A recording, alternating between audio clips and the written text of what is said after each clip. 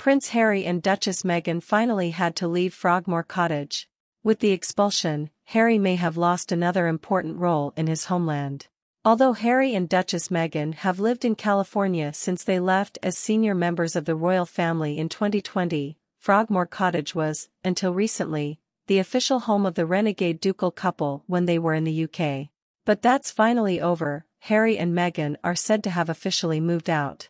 In doing so, the 74-year-old son of King Charles may lose another important role in his homeland. Prince Harry can no longer do important assignments. An expert told The Sun, since Prince Harry no longer officially resides in Britain, he will be denied an important royal task. Losing her British home is a big deal, Richard Fitzwilliam said.